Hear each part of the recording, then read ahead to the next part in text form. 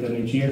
Dați-mi voie să vin cu câteva anunțuri înaintea dumneavoastră, anunțuri care privesc săptămâna aceasta. Iată-ne că am intrat deja în săptămâna mare, această zi este prima zi dintr-o serie de multe evenimente care se întâmplă în săptămâna mare. Sigur, noi Uh, ne aducem aminte de evenimentele care s-au întâmplat și această zi este o zi în care sărbătorim intrarea triumfală a Domnului nostru Isus Hristos în Ierusalim, dar știm foarte bine că de acolo înainte, începând cu această zi, lucrurile au început să se orienteze spre direcția pe care Domnul Isus Hristos a profețit-o și anume faptul că va ajunge în fața oamenilor fără de lege, să fie judecat, să fie pedepsit, să fie uh, răstignit, să moară și apoi a treia zi să învieze. Iar toate acestea urmau să se întâmple pe parcursul săptămânii mari.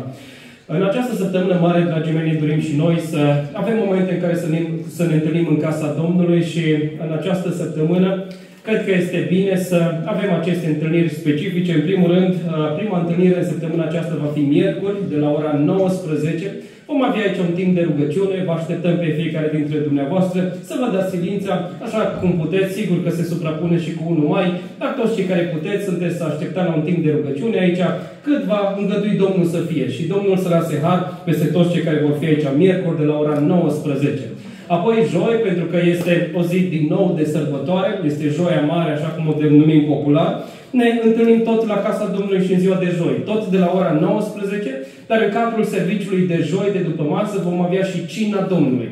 Vreau să menționez că această sărbătoare a cinei Domnului pe care o vom avea aici va fi Uh, și cea care va fi pentru luna aceasta mai, în sensul în care duminică, fiind prima zi din săptămână, vom sărbători învierea Domnului Isus Hristos și nu vom mai face cina Domnului în ziua de duminică, dar joi, pentru că este săptămâna mare și cred că este bine și este potrivit ca sărbătoarea aceasta părtășie cu trupul și cu uh, sângele Domnului Isus Hristos să o avem în ziua de joi. Așadar, vă așteptăm pe fiecare dintre dumneavoastră și la această întâlnire, unde credem că Dumnezeu va revărsa har peste tot ceea ce va fi acolo.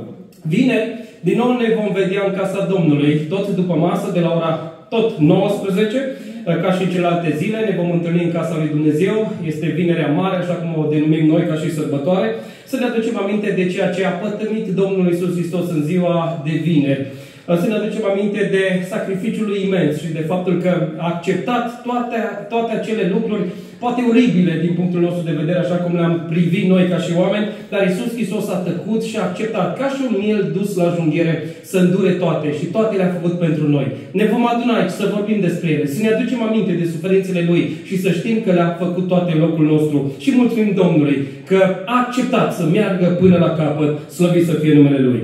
Tot în ziua de vineri, dar de data aceasta pentru cei mici, vom avea o întâlnire specială, tot așa cu caracter de evangelizare și de sărbătoare, dar de data aceasta întâlnirea nu va fi în casa aceasta de rugăciune, dar va fi la Casa Sindicatelor sau la Căminul Cultural, cultural așa cum este cunoscut el, Uh, poate că este cunoscut sub ambele uh, nume, copiii se vor întâlni acolo, cred că de la ora 3 după masă, nu? De la ora 15, toți copiii sunt așteptați vineri să se întâlnească acolo. Vă îndemn să anunțați pe copiii dumneavoastră, pe nepoții dumneavoastră, pe copiii vecinilor, Uh, încercăm și noi să promovăm cât putem de mult acest eveniment, dar sigur că mult mai ușor uh, este atunci când este o invitație directă. Așa că vă invit să facem lucrul acesta. Vom trimite și acele invitații pe WhatsApp. Uh, vă invităm să le distribuiți uh, la cât mai mulți, în așa fel încât și uh, întâlnirea de vineri de la Casa Sindicatelor să fie o întâlnire frumoasă unde copiii să fie expuși Evangheliei.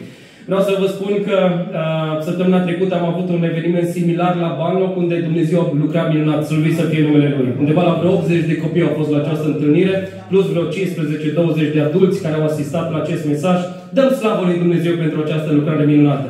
Ne dorim ca acest mesaj să fie adus și copiilor din DETA, chiar dacă este într-o perioadă de vacanță și poate e mai dificil să fie adunați, totuși năjdăjduim că ne vom face fiecare dintre noi datoria și vom anunța. Deci vineri, după masă de la ora 15 copii se vor întâlni la Casa Sindicatelor, iar noi cu toții ne vom întâlni seara de la ora 19 aici la un timp de închinare.